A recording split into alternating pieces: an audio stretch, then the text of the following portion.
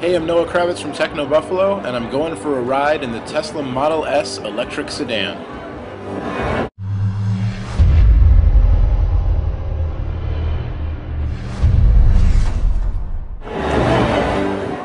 At the launch event for their new Model X crossover, Tesla was also giving rides in the Model S sedan, which is set to start reaching customers during the middle of this year. Get the front? Is that Sure, absolutely. right ahead? Have fun. This is the signature version of the Model S that's slated to ship to the first customers in the middle of this year. The car features an all-electric powertrain, a massive 17-inch touchscreen in the center console for control over the infotainment system and access to internet services, and all the trimmings, including wood dash accents and leather seating. My name's Dan. Hi, Dan. Dan, I'm Nice to meet Noah. Good to meet you, Noah. What kind of music are we going to listen to, Dan? We are going to listen to.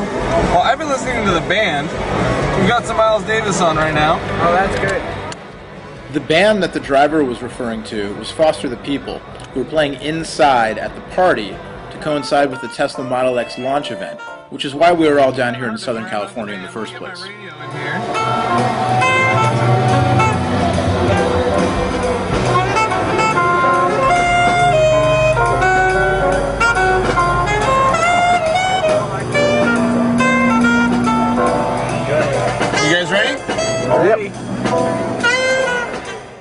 We got a very short ride around the makeshift test course that Tesla had set up.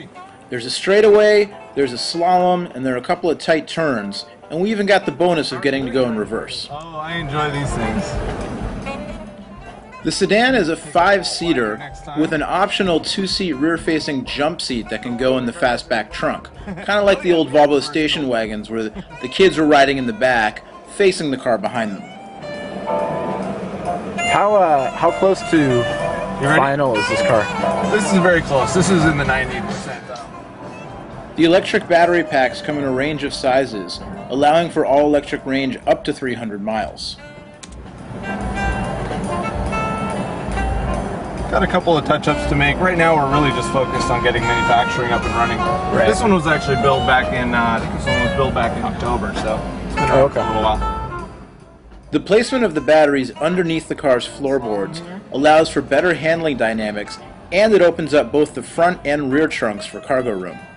It's really flat. It's, stays super flat. Yeah. You can do it quite a bit faster. I'm sure. this is the signature. So this does zero to sixty in four. Uh, it's, it's 5.6 as base, and then you can do four, about four and a half seconds for performance. okay. Thank you. All right, thank Excellent. you guys. Thank you.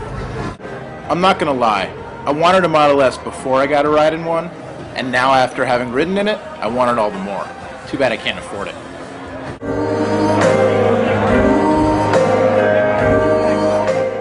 But hey, at least I got to see Foster the People up close and for free. Much, much more on the Model S and the brand new Tesla Model X over on TechnoBuffalo.com.